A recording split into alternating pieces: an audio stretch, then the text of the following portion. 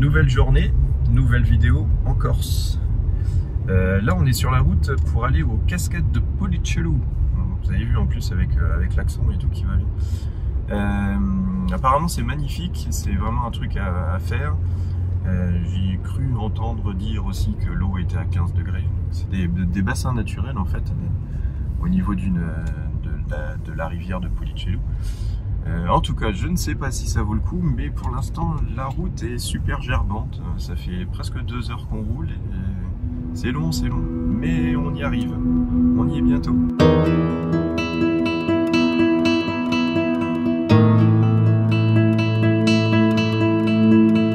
Bon, ce matin, levé à 6 heures. On arrive ici à peu près à 8h, 8h30. Et ben il y a pas mal de monde qui ont eu exactement la même idée que nous. Donc je sais pas comment ça va être. On y va et puis on verra bien. Apparemment il y a quand même pas mal d'endroits où, aller. Donc euh, on va voir ça.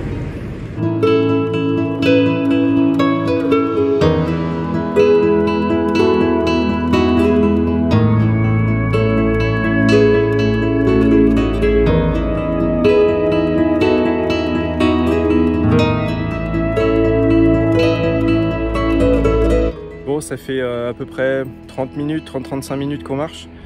Et euh, c'est le premier beau point de vue qu'on a pour l'instant. Je vous avoue que j'étais en train de désespérer, euh, je pensais qu'on allait faire tout en forêt. Mais là, je vous présente les aiguilles de Bavella sous un autre angle. Regardez-moi ça comme c'est beau.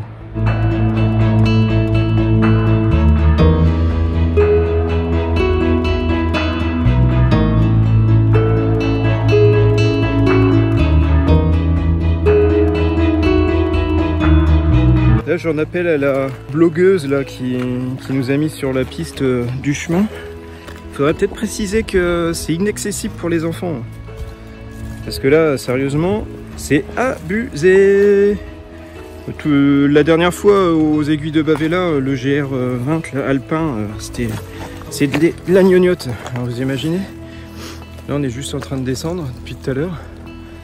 Mais il y avait carrément des passages où il y avait des failles des failles sur 3-4 euh, mètres de profondeur.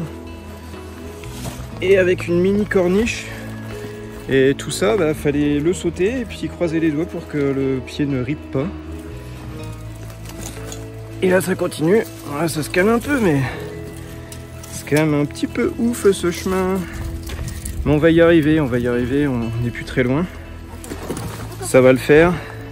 J'espère que le panorama est beau parce que Là, plus jamais. Bon les copains, après euh, moult efforts, on commence à s'approcher du but. Ça fait une bonne heure qu'on marche. Et là, première petite vasque. Ouais, c'est toute petite, hein. normalement elle compte pas celle-là. Donc on remonte un petit peu encore par là. Et on devrait arriver à quelque chose de sympa. Allez, tout de suite. Oh purée, ça y est, on est arrivé. On a été jusqu'à la deuxième vasque parce que plus bas il y avait trop de gens qui faisaient du canyoning. Donc on est, on est plutôt tranquille puisque on est tout seul. Et voilà, on est enfin réussi.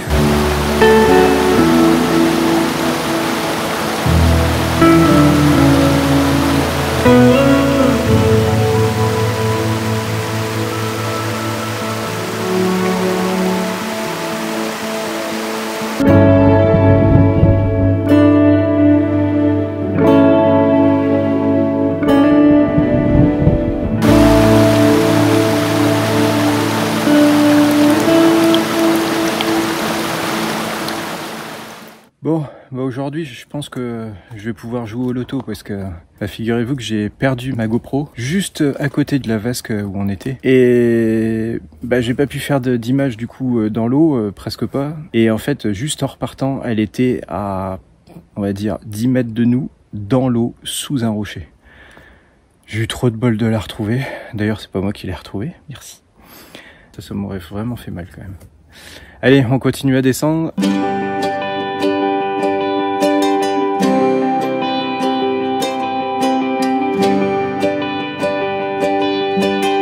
Non mais journée de merde Déjà une, j'ai perdu ma GoPro et en plus, il y a quelqu'un qui m'a fait tomber mon sac dans l'eau. Alors je vous dis pas, il y a le drone, la caméra, enfin tout quoi, les batteries, euh, génial.